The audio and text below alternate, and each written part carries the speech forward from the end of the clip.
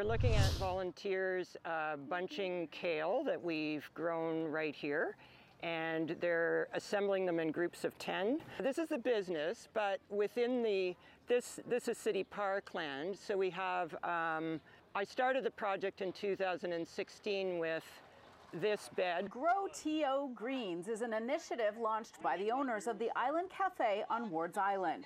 It's a food security partnership project with the City of Toronto. We've got collard greens, and it depends on the week to how much, you know, what's ready to take to, to deliver.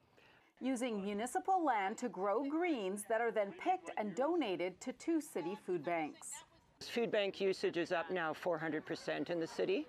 It's, um, it's appalling to me that um, with the level of privilege we have as a society that there are that many people that don't have enough food. Volunteers pack up their island bicycle twice a week and deliver the weekly harvest. This year we have hit the uh, 2,000 bunch mark. I actually live in Parkdale, which is one of the main um, food bank recipients for this kale, and I, I see that food bank every day. Um, and so I, you know, I have a lot of neighbors who are uh, getting to access this harvest, and I really hope, uh, yeah, we can see more projects like this. Worth it? Oh, I mean, absolutely.